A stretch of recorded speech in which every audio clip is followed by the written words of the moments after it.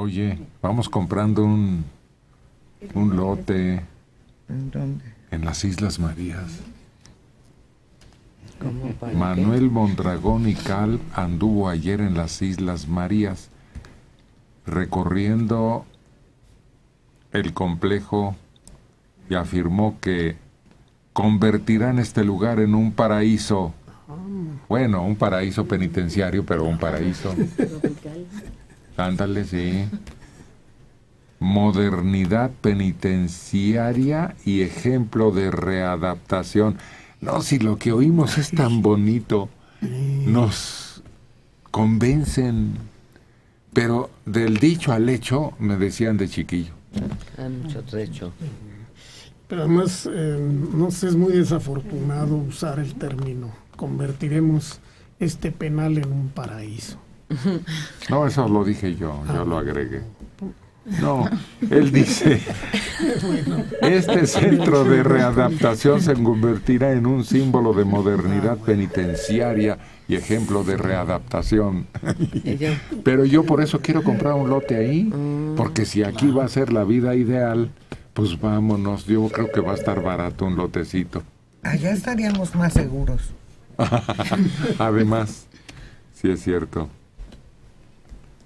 Pues hay un campamento femenil denominado Reilete y a las internas les anunció que habrá campañas de revisión médica principalmente. Además instruyó al personal que opera en este complejo para que en todo momento se garantice una alimentación sana y balanceada, una hidratación de agua purificada y respeto a los derechos humanos, sobre todo a los internos que compurgan penas por diversos delitos. No, pues sí, ojalá que la conviertan en un complejo penitenciario Islas Marías, que parece que de hoy en adelante se va a llamar así, tiene una capacidad de 8.000 espacios y actualmente habrán lugares para los políticos ahí. 800.000 espacios y actualmente nomás hay 7.248 internos. Si caben hartos sí, políticos. Sí, hay espacio todavía. Pásenle, y, acá pásenle. Están, y acá están sobrepobladas las prisiones. Creo que el más horrible de todos los campamentos, eh, ni siquiera Guantánamo, llega a convertirse en lo que fue la isla del diablo. No, bueno, ahí estaba pensado con los esquemas punitivos del siglo XIX, que eran tremendos, no había el menor elemento de intento de, de rehabilitación o de respeto al, a la individualidad. Oye, pero en verdad se puede rehabilitar un hombre que decapita, que ¿cómo se le llama cuando quitan la piel a las personas? Despelleja. No, no, se llama desollar. desollar. A los que desollan, a los que secuestran niños, a los que matan impunemente. No, no, no. Las familias, eso. Pero esos deben estar en el manicomio. Desafortunadamente Pero no. no. Sucediendo. Desafortunadamente Pues es que son no. La- criminales sí, De eh, otra naturaleza. patológicos, pero Sí. desafortunadamente no. Las zonas psiquiátricas en los hospitales, áreas psiquiátricas, porque hay áreas de atención por otro tipo de enfermedades, están muy restringidas. Generalmente hablamos ya de esquizofrenias, de grados muy severos, y en donde bajo este padecimiento y la mezcla de algún tipo de medicamento se da crímenes espantosos. Sí tendrían que estar muchos en zona psiquiátrica, pero también cuestan. Yo diría que tendrían que estar muchos, pero en otro lugar donde no cuesten a, a los ciudadanos. Y cuando dijiste que hacer un paraíso, luego luego pensé, rumba caliente y bongos, va a estar a todo dar aquello, pero no, no, no, ya me quedó muy claro que se trata de hacer una readaptación dentro de las instalaciones y una readaptación para con los eh, delincuentes. Sin embargo, yo estaría más preocupado como jefe de policía aquí que crea una infraestructura allá. Y aquí, por lo que mencionó Liliana, la sobrepoblación, las mafias hacia el interior de las cárceles, la forma en que todavía se siguen manejando secuestros, todo, todo, todo, cobros, todo desde las cárceles, la forma en que están comiendo, durmiendo, la contaminación, el contagio de enfermedades de tipo sexual que se está dando ahorita en un alto índice, en estos reclusorios masculinos, el tipo de visita íntima, todo eso, yo me abocaría más a eso que a decir que hay lugar en las Islas Pero si el señor nomás está diciendo... Pues que haga, que no No, diga. no, no ha empezado todavía, nomás está diciendo. Oh, Y además, no sé si oíste la controversia que fue en Brasil, en Río de Janeiro, sobre el aire acondicionado. Si las prisiones grandes deben tener aire acondicionado o no. Porque quienes decían, bueno, es, es necesario que tengan, si no vamos a, a seguir teniendo motines y la gente enloquece con el calor.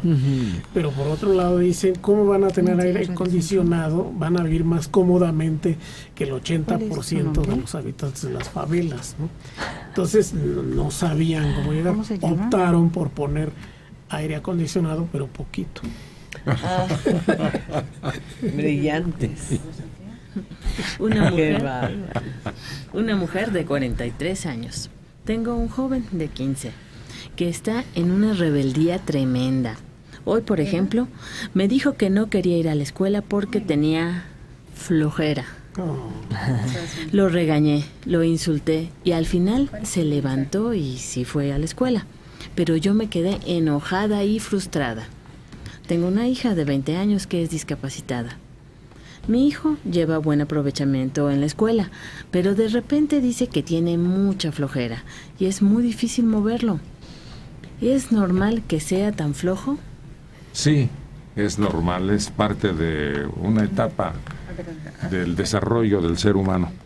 Pero la flojera, ponga que no se le quite, pero usted debe disciplinarlo para que cumpla con sus obligaciones. ¿A qué hora se acuesta? ¿A que en eso no se ha fijado? Pues también es importante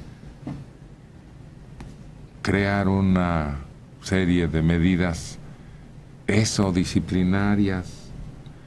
Pero mire, lo más efectivo es que un día, sábado o domingo, por ejemplo, coma usted con él. Y luego al terminar de comer, oye, te necesito este para que cambiemos opiniones. Tienes buenas calificaciones. Yo creo que si sigues así, vas a llegar a dominar estudios avanzados y luego te vas a titular y vas a ganar muy buen dinero para tener casa, coche, para que vivas desahogadamente y en ventaja, mira, voltea a tu alrededor. Hay algunos que tú conoces, que conocemos, que estudiaron y que están ahora muy bien fincados. Y hay otros que abandonaron los estudios en el momento en que tú estás y ahora andan pues vendiendo, completando con tareas muy duras y muy humillantes, muy infames. Poco a poco meterle la idea de que si va a ser grande, si va a ser importante, si va a querer darse gustos, pues tiene que estudiar. Pero la etapa de, de, la adolescencia que está pasando, de veras que es real y es auténtica y tenemos que tener muchas ganas de vivir para vencerla. El él no tiene ni ganas de vivir ni quiere vencer nada, porque aparte de la adolescencia, me da la impresión que pudiera estar pues, en una crisis depresiva. Tener una hermana de 20 años discapacitada es una limitante brutal. Por un lado, mamá le dedica más tiempo, no mencionó ser papá ni nada de esto. El futuro es incierto. En algún momento tal vez mamá dice, el día que yo falte te encargo a tu hermana.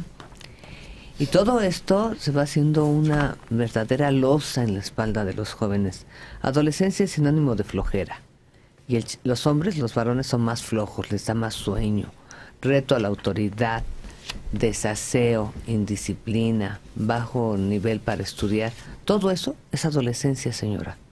Tal vez usted con su hija de 20 años lo vivió de otra forma, por sus mismas limitantes, pero aquí, independientemente de todo eso que está así en hervidero, porque es la edad y el momento preciso, aparte eh, la dinámica con la hermana, yo me iría por ahí un poquito, sí motivarlo, pero liberarlo de una carga a futuro, definitivamente, porque créame que los hermanos de jovencitos o de niñas discapacitadas tienen que empezar a planear su vida 20 años antes porque invariablemente quedan a cargo de estos hermanos.